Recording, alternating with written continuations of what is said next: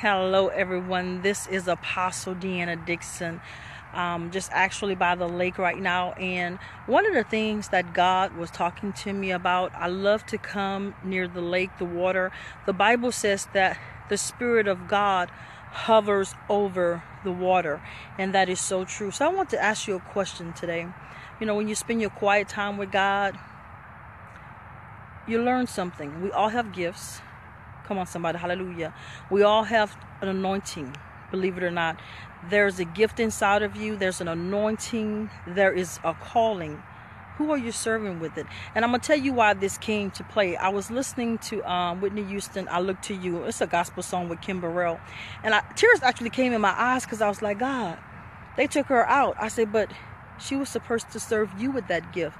And that's when the Lord told me, said, Deanna, this is the way it is. He said, I put gifts in my children. They have a calling. But I give them also the choice. Choose who you want to serve. And choose this day who you will serve. So I'm asking you, who are you serving with your gift? Because some of you, you get sidetracked because you want money, fame, the riches, the success. Come on, somebody. Hallelujah. You know what I'm saying. But who are you truly serving with your gift? And then at the end of the day, you have to pay up. Whoever you truly serve, that's who you spend eternity with. Will you be in heaven or will you go to hell? Oh, come on, somebody. Uh, we've been talking about this for about a week now because God has had that in my spirit. Do you really think that hell is not real? Because I think some people think it's a game. Yeah, I'll go ahead. I'll have both worlds. I'll sell my soul to the devil for the riches and the fame and the glory, and then I'll still have a chance to go to heaven. That's not true. So be careful the choices that you make in life. You know, I think about the things that I've done. I think about the choices I've made, and I may not have everything I want in life, but I'll tell you one thing. I'm so glad that God turned me around and that I'm serving him with a whole heart, a true heart.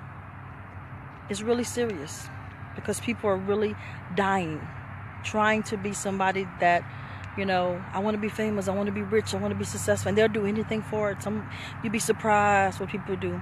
Oh, come on, somebody, money make you do some strange things. Oh, come on, somebody, hallelujah. Let's be real. Money make you do some strange things, some things that you say you'll never do. Hallelujah. And I'm just praying that you understand how real it is. And that's why we have to get to those children and let them know. Don't you dare go after the world and lose your soul. That's temporary. Temporary gain. Oh, come on, somebody. Hallelujah. So that's just a thought that God had had in my spirit. And while I'm out here doing my quiet time with God, just, ooh, it's so peaceful out here. Um, this is in Jackson and um, just by the lake and Jackson, Mississippi. I mean, you know, it's just so beautiful, peaceful, calm, and calm to the spirit. And I was just doing some soul searching. And um, that's why I have a passion in what I do. I don't want to see people die go to hell. I, I and, and, if I can stop one, two, three, however, I'm going to preach and I'm going to teach my heart out because it's really that serious. So God bless you. And I pray that you learn to make better choices.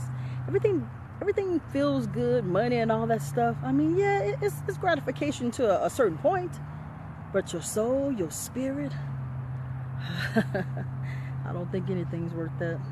But who am I to say that, right? So God bless you, and this is Apostle Deanna Dixon. God bless. Roll out, soldiers.